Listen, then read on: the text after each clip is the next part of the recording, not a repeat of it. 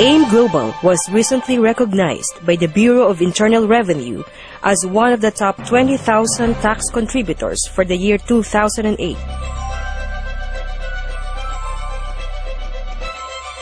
Congratulations to AIM Global on its third year of anniversary here in the Philippines.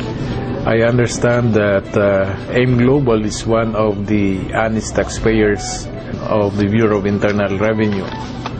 And uh, with that, uh, we hope that uh, this honesty and uh, sense of patriotism of AIM Global will extend to its business associates, not to mention its distributors and uh, the other distributors down the line.